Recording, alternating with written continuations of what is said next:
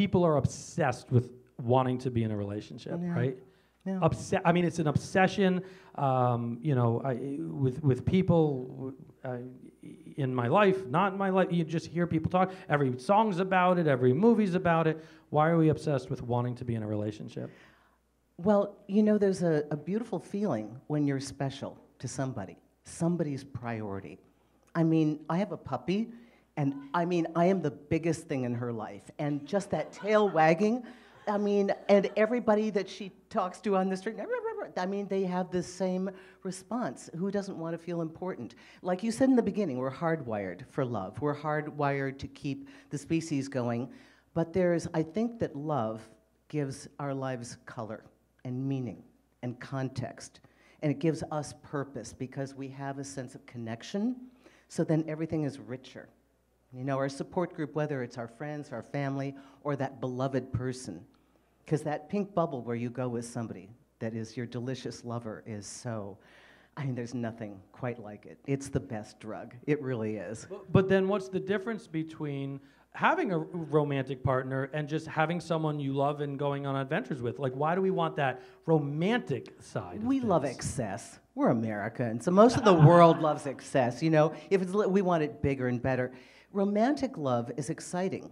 It's thrilling. It's also terrifying because it. You know, what's thrilling is terrifying. Am I right? There, it's the double-edged sword. So we want this. There's an inherent fear. They can hurt us, but they can make us feel amazing. There, hold on. I just have to do something, or I'm going to forget, and I, I will talk for 45 minutes, and be like, oh crap, we won't don't get to hear camera. Um, what um, if that's the case? The fear, right? That feeling.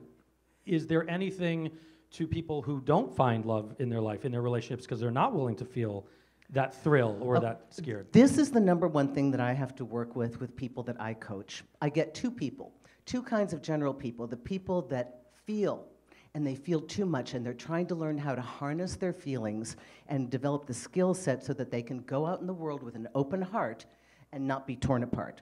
Then I deal with the other kind of people that have got their guard up and they've been taught to protect themselves. So they're playing, but so cautiously that they're never going to reap the rewards. And so it's the merging of the two. You know, we've got to we've got to be intact with ourselves. As you said, we've got to trust our own wings.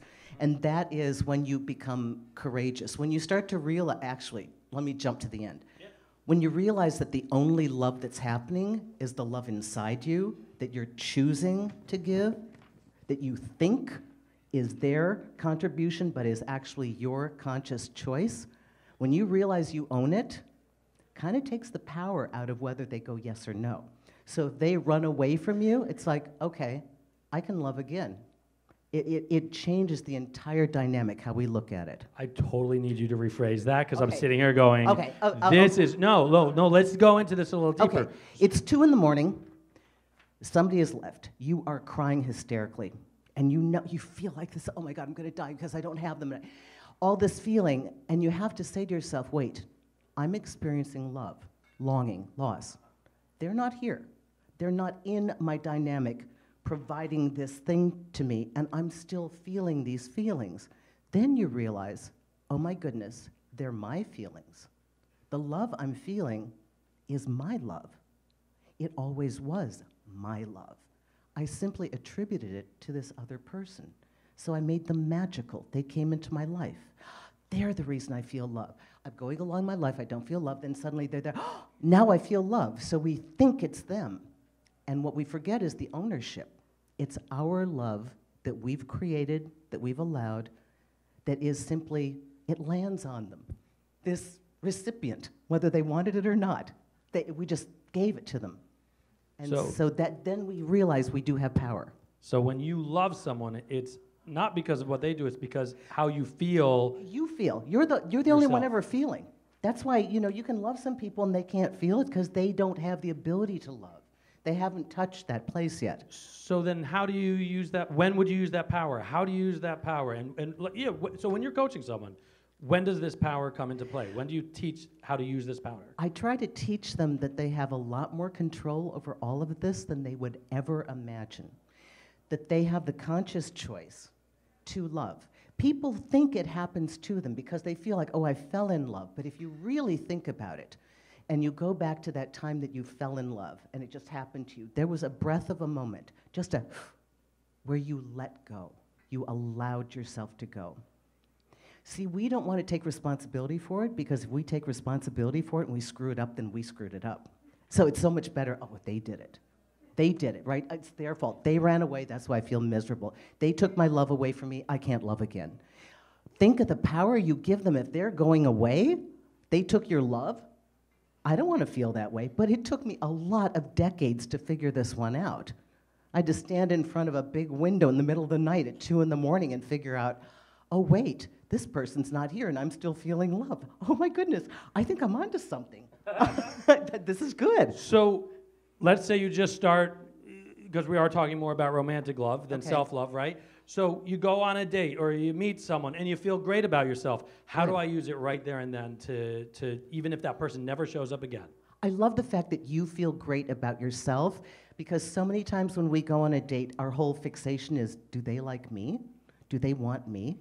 And I think it's great that you start to say, how do I feel about myself when I'm with them? So it comes back to asking the questions. I feel great. I feel loved. Why do I feel that? What about that do I feel in myself? See, I'm a big fan of showing up. Just show up. I mean, if you're going to do it, just do it. Don't do it half assed. Just try to really do it. Be there, experience it. That's how you get the most out of it. For you, it's not about them, it's about you. And then when you show up as yourself, they get permission to show up too. It's this amazing thing that love catalyzes love. And it sounds like if you show up and I present myself and it opens you up, Exactly. then it's up to you if you show up or not. Exactly. And let's and I want to make sure that, that I'm correct. When you say show up, you don't mean physically, hey, you're on time, right? You, You're- say, you, you show up on time, but you also, you're, you're present. You're present in the moment. So, you know, and especially since I, I do have friends who are single and they go out on these first dates. And actually, when I, right before meeting Lauren, so I exited a broken relationship. That's Lauren. Lauren, this is the woman I told you, be careful when she's the on cougar stage. in the house. but um, you know, I, I had a bro- I wasn't I didn't love myself. I entered the a wrong marriage. I didn't love myself exiting the marriage, and I would date. I was a serial dater. I mean, I was I went on in about a year period, 80 dates in that year. Yeah, but that's your learning curve. That What was my- right. Didn't you learn a lot about yourself? I learned a that's, lot about that's myself. the practice. I learned a Well, you're lot laughing. about he myself. didn't. Maybe he didn't learn. So, I don't know. oh, here's this is what she's proud of. I She went on 80 date. dates. She enrolls online dating. One date. It was me. I did the work for the family. Don't don't you worry. I showed up. So she turned the key, and you raced to get there. I actually- but you found each other. But you know what? If it wasn't for the journey that I took, Exactly. Exactly. if it wasn't for the journey I took, I and you know. had, I don't have it here, but you had a quote about all the relationships. Yeah, there are no lost uh, or wasted relationships or careers. They're all a part of our journey, and it's all. It is purposeful. There, you know, the times that you think you're in the greatest chaos, that's the moment you're actually being born. It's so wonderful, but you don't see it when you're in it because it's so traumatic. You see it in hindsight. So, which which is what hap we both always say. We would have never met each other if it wasn't for everything that preceded it. Absolutely, it had to. It's the right formula. So you were talking. So now let's talk about heartbreak because it's very hard to get. You, you might have loved someone. You might have had an experience, right? And you wrote the what's the name of the one, the audiobook that you did, Uh, breakup triage. right? So the cure for heartache. Yeah, cure for heartache, right? So let's just say for a second, how do you? Obviously, you need the grieving process, right? But how do you move beyond? I listen, I firmly believe that any challenge, our duty is to find the gift. If we can't find the gold in that thing that happened, it will always be a crisis for us. You have to dig. There are times you are really going to have to dig for what was the benefit here, but if you cannot find it, it will always be the sword that impales you and not the scepter that enables you to be courageous. You've got to find something in that. So, like, give me a hypothetical. Uh, give me an example. Um, I, okay, I used to ask my girlfriend when she was in the revolving door of dating guys. Okay, she she'd okay she'd she'd go out and she'd meet people, and I said to her one guy was blowing her off, and all she wanted was a Saturday night date. Like she was getting Tuesday, Wednesday, you know, like that. Okay, right? Everybody knows what that is, right? So I said to her, he, so he was backing off and she, wa- she was done. Her ego was out of it. She was done. And I said, Are you completely done? She said, Yeah. I said, Okay, I've got something I want you to do. I want you to call him on the phone, leave a voice message, tell me one thing you appreciated about him that you would have never experienced had he not come into your life. She said, Wow, I was never brutally honest with anybody before, and he allowed me to do that. And I said, I want you to say that, hang up. That's it. I knew what was going to happen. 30 seconds later, he was going to call her, but if I told her, it would blow it. So she did it, blah, blah, blah, blah, blah, and I want to thank you. Hang up. He calls back 30 seconds later, gives her the Saturday night date. Okay, that's not really the point of it. The point is, she found the gem, and it changed everything. It was her um, diplomatic goodbye. They really didn't go out again. It didn't materialize, but she found a way to walk away with a gain. So if you have a goodie in your hand, it doesn't feel so bad when you're walking away at the end of that journey, right? It's, it's the purpose of the gratitude slam. yes, yes, yes. If you can focus, there's always something to be grateful for, even in the Uh, worst I of agree. times, right? Yeah. Viktor Frankl, you know, talked a lot about, you know, the people in the Holocaust who survived. They survived uh, either it, it was pure numbers, right, or they survived because they could find the beauty in wherever they could find the beauty. Everyone else died or perished of disease, and it's the same way almost with relationships, right? And that's the bravery that's involved in love. You know, we've got to realize that the courage, it, it is far more courageous to try to love somebody. It's far more courageous to allow ourselves to feel that. That's not a wimpy thing, that's a big thing. And you should feel very proud of yourself. And then in dating, we learn to be better sifters of who we should throw this beautiful emotion onto. And of course, we're going to have some people break our hearts along the way so that we learn, mm, not the best choice. Okay, I'll try this one. So again, it's all part of the learning curve that you were speaking about earlier.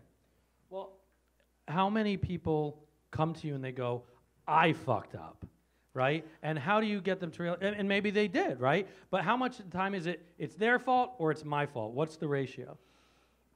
If they come and tell me that they screwed up, they're halfway there or more so. And that's uh, like I've had guys cheat on their fiancées numerous times and then they lost her. Like, how did that happen? I can't figure it out. That's a mortal wound for a woman. That's going to sting, right? They have to really transform. That can take me 10 or 12 sessions before I can get her back. But I write the emails and the text messages, so I'm the note. So.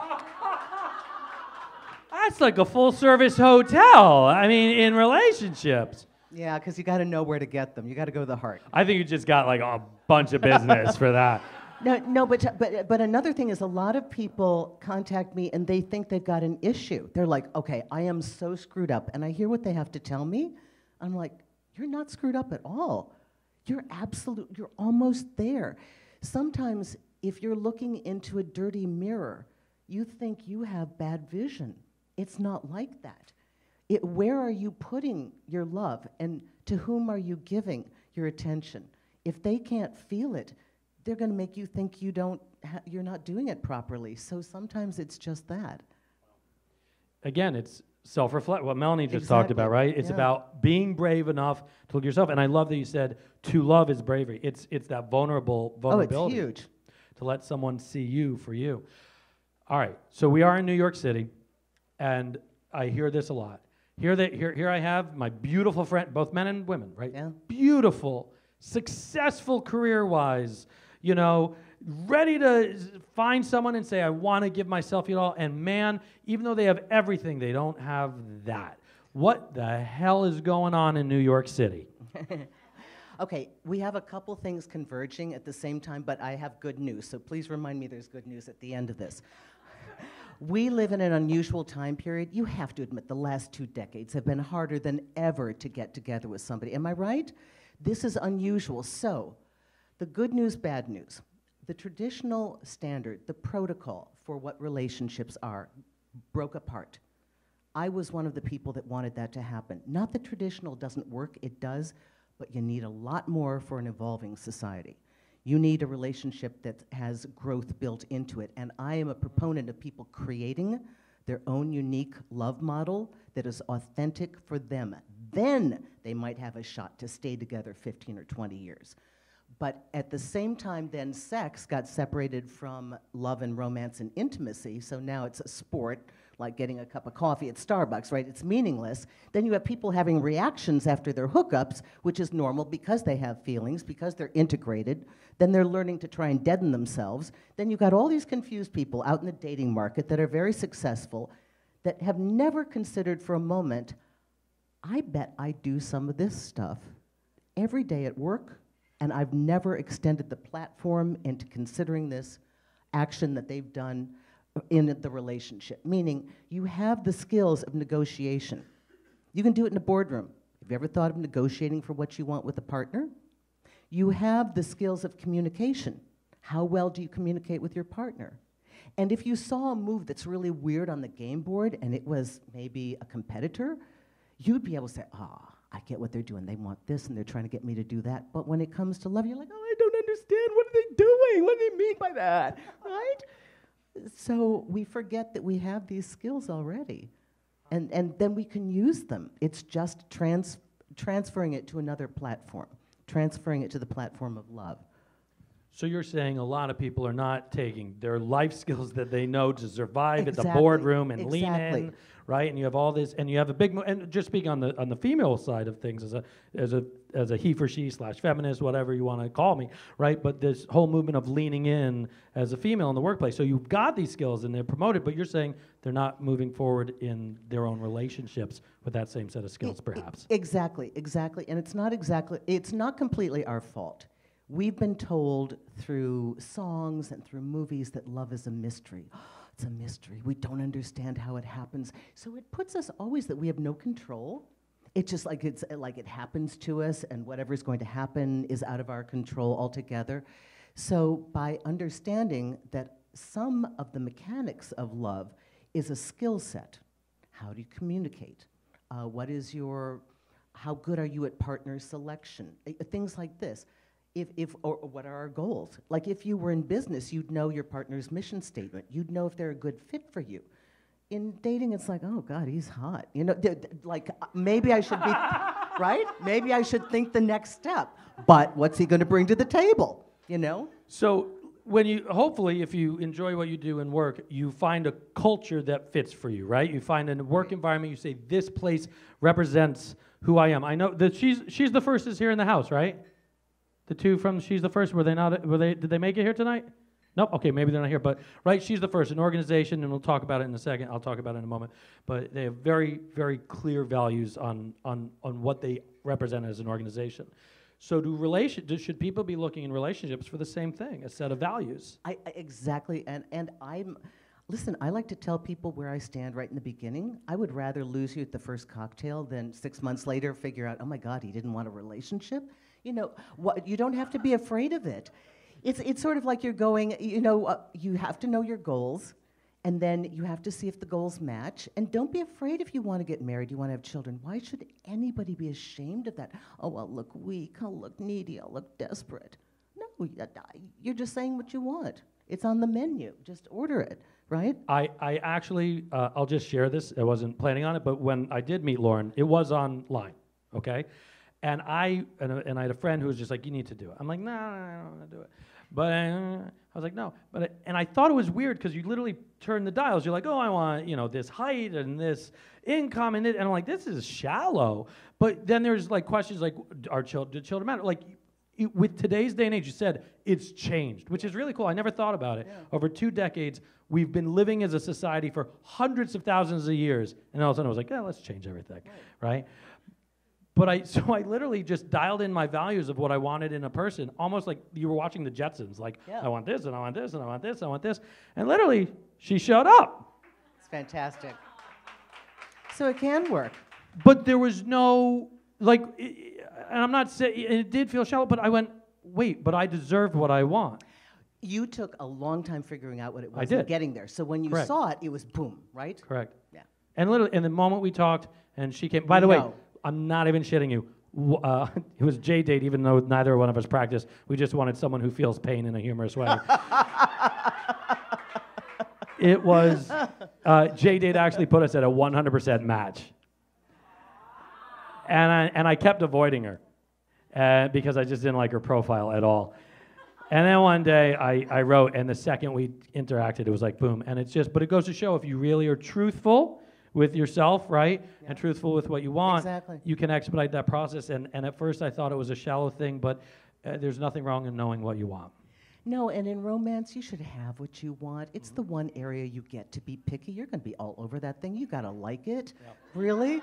You know, just get what you want and don't be ashamed what you want. Say it. Whenever someone asks me, oh, how's married life? I go, it turns out if you like your partner, it's quite fucking good. It's great.